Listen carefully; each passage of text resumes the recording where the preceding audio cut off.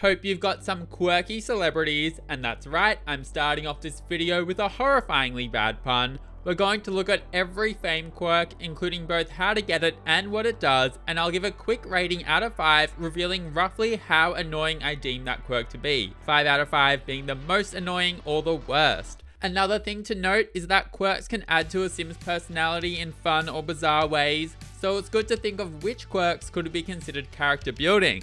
2 star celebrities can have one quirk, 3 star celebrities can have two quirks, and then 5 star celebrities can have up to 4 quirks. Let's get started. First up is Vain Street.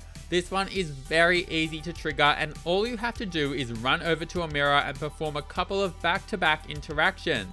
Before long, they'll realize that they are absolutely loving their reflection and this quirk will pop up. Character-wise, this quirk is great for a narcissistic celebrity. On one hand, Vain Street can be really annoying as without using a mirror frequently, your Sims will constantly get a tense plus 2 moodlet that can only be fixed by interacting with a mirror. The flip side of this is that if you have 3000 reward points, you can purchase the Carefree trait and you'll never be tense again, meaning that this quirk isn't too impactful in a negative sense at all. Your Sim also gains the ability to admire their fine self on a mirror, which will give a plus 2 confident moodlet for 3 hours. Overall, I'm giving this quirk a 4 out of 5 in terms of how annoying it is, but if you have the carefree trait, then I'm giving it a 0, as it won't really impact you at all. Moving on now, and it's time to talk about Refined Palate.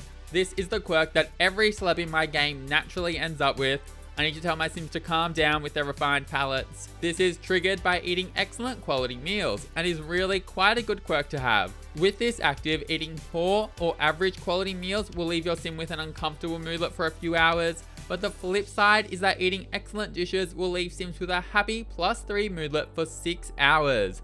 Overall, I'm giving this a 0 as I think the positive moodlet outweighs the bad. It's definitely one of the better ones to end up with, just make sure your sim doesn't suck at cooking first. Now keeping with the food and drink theme, it's time for my favorite quirk, which is Juice Enthusiast.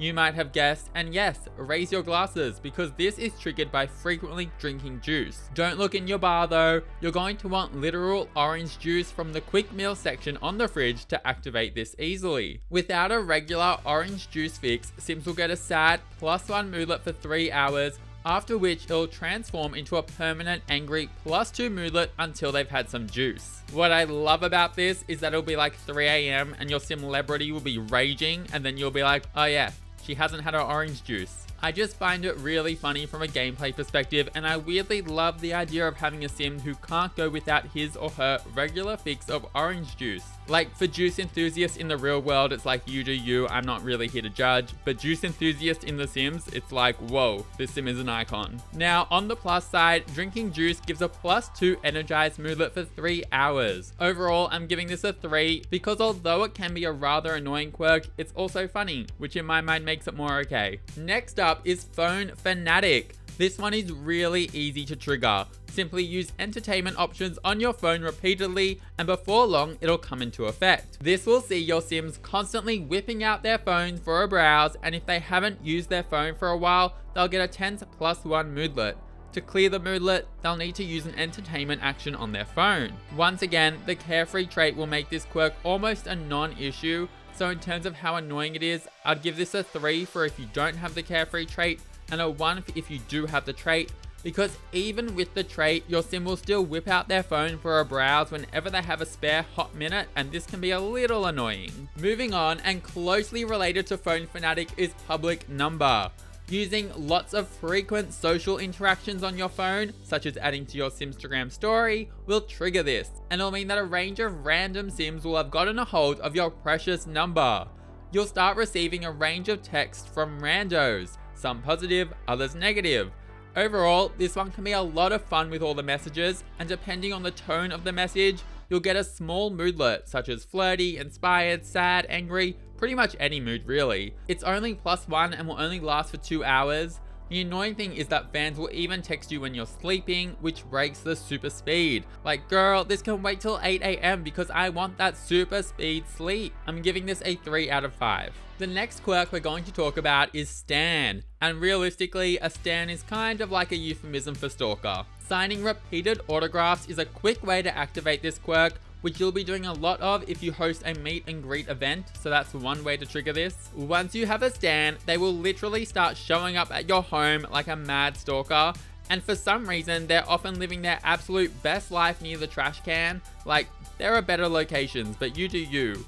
If you don't like your stan showing up, then you can chase them away. I gave my stan my residence key, and we watched the Penguin TV together. But in all seriousness, while these stans are pretty harmless, they can steal from you, and it can be annoying to have a random sim showing up at your home all the time. So I'm giving this a 4 out of 5. It's time to talk about fan mail. You know, from fans that might not like you that much. This quirk is caused by socializing with fans and we'll see mysterious packages regularly drop into your mailbox. While most of the time this is off fish or food, it can also be quirky objects like future cubes. This is one of the least intrusive quirks and I actually enjoyed seeing the junk I was delivered, so I'm giving it a 0 out of 5. Moving on now to the next quirk, which is Paparazzi Darling. If you regularly click on paparazzi and choose to pose for pictures, then it won't take long before this quirk pops up. Similar to Vain Street, this quirk is great for a celebrity who is really feeling themselves. This one is interesting, as it'll mean that when you're out and about, more paparazzi will be chasing you, and you'll have a chance of getting a small boost to your reputation when they snap up those pictures. Posing for pictures also gives a confident plus one moodlet for 3 hours, but while the paparazzi have a positive effect, the increased attention from them also makes it difficult to go anywhere without being swarmed, and they're just a little bit annoying in general. I'll give this a 3 out of 5. The next quirk we're going to look at is no touching, and I'm not going to lie, even though I'm more of a peasant than anyone famous, this would be my quirk. This one is triggered by being touched by strangers with less fame than your sim, think having sims hug you. This will leave your sim with a tense moodlet that activates whenever your sim interacts with a stranger. On the flip side, if you haven't touched anyone in a while, then your sim will gain a confident plus 2 moodlet that will last indefinitely until they come into contact with a rando once again. Overall, I'm giving this a 2 without the carefree trait and a 0 with it, as if you have the carefree trait, then this quirk means that your sim just becomes confident from time to time, which ain't too bad at all. It's time to rub shoulders with your sim stars with brushes with fame. This activates from touching celebs more famous than your own sim. Ask to hug a couple of 4 or 5 star celebs and you should be good. This will make encounters where you touch or hug celebrities that are at least the same fame level as you give a plus 2 energized moodlet for 2 hours. On the flip side, if you go too long without associating with a celebrity of at least your celebrity rank, then you'll get an indefinite sad plus 1 moodlet until you do.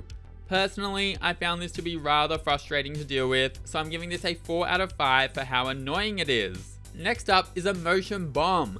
This can be triggered by having your celebrity drop into a very sad or very angry state, and in my opinion, it's one that you want to avoid. With this active, whenever your sim becomes sad or angry, they'll be hit with an emotion bomb moodlet which causes their sadness or anger to intensify. In the case of anger, it's a very strong moodlet which will put your sim straight into an enraged state. And while enraged, there's a small chance that your sims can actually die from cardiac explosion, so avoid this quirk and keep your celebrities alive. Finally, we have the last quirk being a serious actor. This is triggered by completing dramatic gigs in the acting career, meaning it's one of the hardest and most specific or niche quirks to obtain. If you want it, then know that my sim got it after completing a few back-to-back -back gigs of Of Tea and Treachery. This quirk makes it so that any comedy or mischief interaction will leave your sim in a fit of rage with an angry plus 2 moodlet that lasts for 2 hours. Seriously, Victoria was not having it.